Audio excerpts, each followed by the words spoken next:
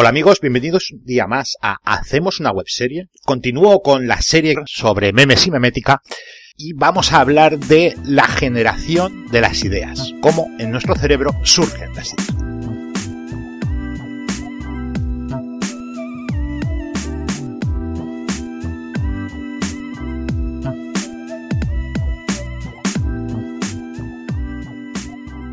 Voy a contar realmente cómo se crean las ideas, ya que creo que nadie lo sabe. Es un proceso que es un desconocido. Realmente a mí me intriga muchísimo, he leído muchísimo sobre el tema y de todas las cosas que he leído, lo que más me convence, por, ser humilde, el planteamiento, sobre todo, y aparte pues porque el autor tiene la suficiente solvencia, además lo he nombrado muchas veces, de hecho ayer lo nombraba, que es Stephen Pinker. Stephen Pinker, que dice que las ideas se crean por asociación, por asociación de otras ideas que previamente teníamos. Entonces generamos una idea nueva a partir de ideas que ya tenemos o de cosas que ya tenemos en la cabeza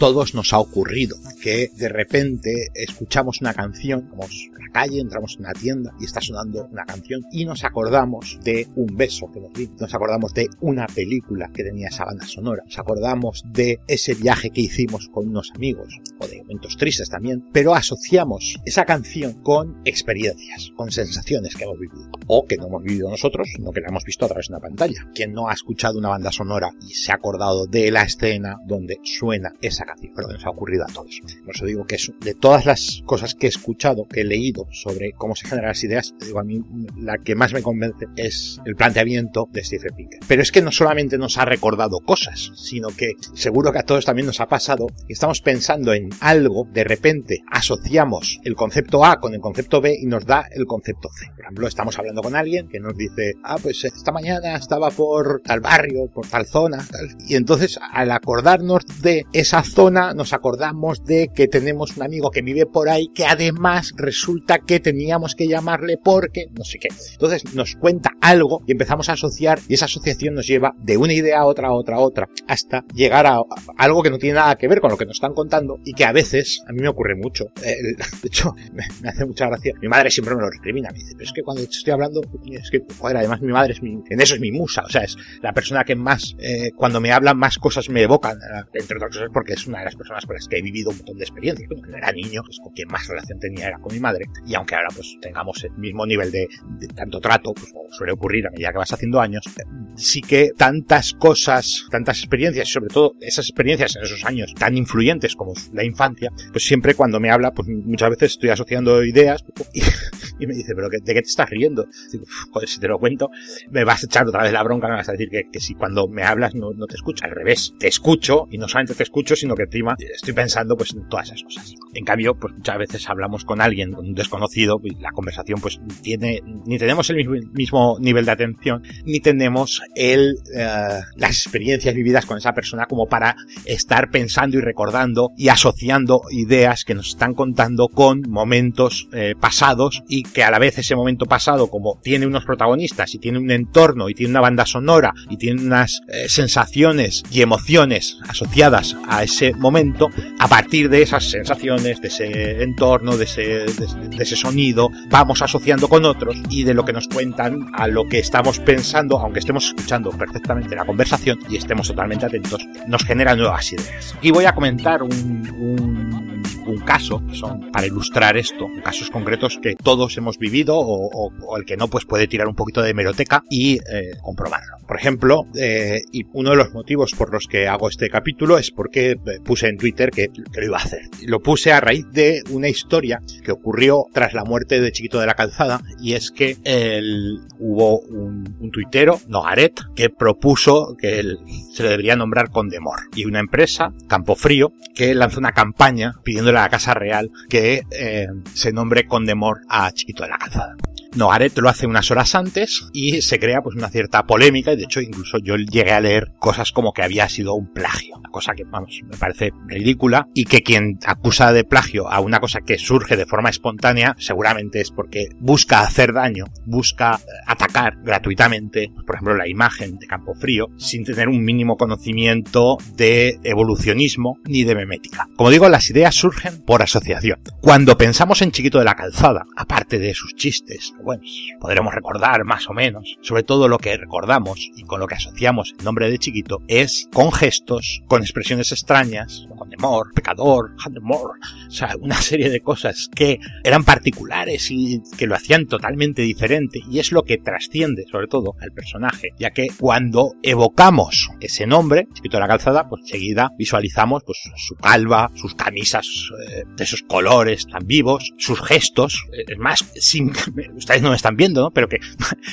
intuitivamente yo estaba hablando de chiquito y ya pues estaba moviendo las manos como eh, eh, entonces, como digo, nos evoca ese tipo de cosas, pues una de las cosas que, que son obvias, porque además también una película se llama El Conde Mor, El Pecador de la Pradera, con Bigota Rocet, ese, ese concepto, ese, el Conde Mor. Entonces, que surja de forma espontánea cuando hay un caldo de cultivo previo, y es que, coño, estábamos, eh, yo qué sé, llevábamos bastante tiempo todos preocupados. Yo creo que el Diario Nunca ha tenido tantas visitas como cuando estaba, eh, era el que más informaba, obviamente por ser de Málaga, todos los días lo leía, ahora ya no, pero mientras la enfermedad de chiquito, prácticamente cada dos o tres horas miraba la página del Diario Sur a ver si había puesto alguna noticia, a ver si mejoraba, o a ver si había empeorado, o a ver cómo evolucionaba su, enfermedad. Y como yo, muchísima gente. Yo lo he contado como gente me dicen, sí, sí, vamos, Diario Sur, o sea, lo asociaremos ya siempre, Diario Sur, la gente que no somos malagueños o que no somos andaluces, asociaremos siempre Diario Sur a Chiquito de la Calzada. Entonces, en, en ese caldo de cultivo en el que mucha gente pues llevábamos preocupados durante bastante tiempo, nos deja, cual pues nos dolió a muchísima gente. Y si mirabas en Twitter ese día, se hablaba continuamente por todos lados, mucha gente, bueno, de hecho, desde la Casa Real hasta, hasta, bueno, desde la Casa Real hasta Podemos, o sea, que es que la diferencia, de, o sea, cogía todo el espectro ideológico, pasando pues por el resto de partidos, por, por Ciudadanos, por, PASE, por el PSOE, por el Partido Popular, todos lo decían, pero luego gente de la cultura, gente del mundo del espectáculo y gente anónima, bueno, anónima, no quiero desprestigiar a nadie, pero vamos a ver, yo nunca había oído hablar de este tal Nogaret. Ahora ya le sigo y me parece un tío cachondo, está ahí siempre haciendo gracias y tal, me gusta, ¿no? Pero lo descubrí gracias a eso. O, por ejemplo, empresas, Campo Frío, que yo tampoco era un gran cliente de Campo Frío, sí, pues pechugas de pavo son creo que las mejores que, que hay en el mercado, pero el resto, pues, pues para mí, una empresa más. Una empresa más que ahora me compro mucho más. De hecho, yo me propuse desde el, día que, que, vi la campaña esta del Condemor, dije, durante todos los días que queden en 2017 voy a consumir por lo menos un producto de Campo Frío. Y lo hice. Casi todos los días era pechuga de pavo. Pero bueno, lo hice porque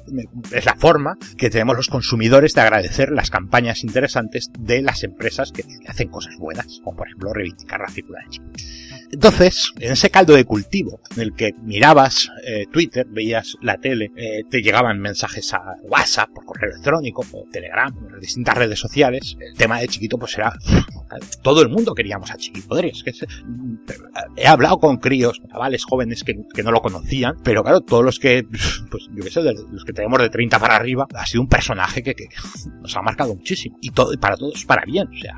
alguno puede decir que no le hacía mucha gracia y tal, pero bueno, aunque no te haga gracia, pues ahí está, ¿no? Es indudable su influencia y aunque no te haga gracia, pues tampoco te hace daño. Entonces, una persona, pues como digo, querida por muchos y, bueno, pues indiferente para otros que encima todo el mundo habla de eso, que encima todos lo asociamos a gestos, a palabras, a chascarrillos, a, a una imagen, a, como digo, la propia apariencia física, y entonces es cuando con esas asociaciones surge de forma espontánea, eh, en dos cerebros distintos, la misma idea, que es pedir, que es el nombre Condemor. Algo que, bueno, pues es tan obvio que, que, puede ocurrir, es más, tampoco me parece una gran genialidad y una gran creatividad, si lo pensamos fríamente, pues